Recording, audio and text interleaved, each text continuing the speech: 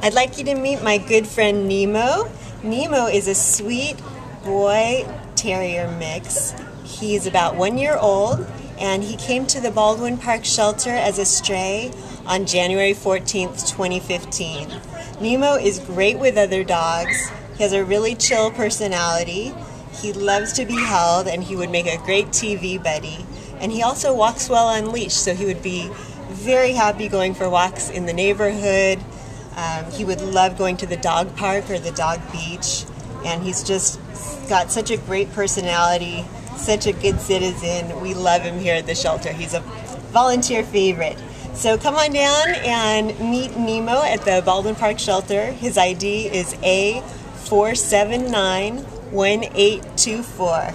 Thank you.